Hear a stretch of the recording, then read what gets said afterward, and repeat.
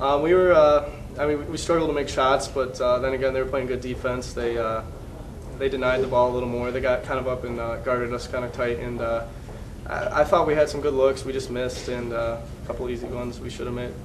Down the stretch, you guys really turned it on, particularly within the last 10 minutes. Right. What was that switch that turned on for you guys? Uh, I just, we just kind of, I think we got more aggressive, and we, uh, I don't know, we just got uh, the crowd was involved, and uh, we, we didn't want to lose two in a row. We uh, start off the MAC, you know, two and zero. I mean, zero and two, and uh, I don't know. We, I think we got on the defensive end, got out and ran, and uh, attacked the rim a little more. What, as you mentioned 0 and 2, you got uh, Right. Toledo coming up. Mhm.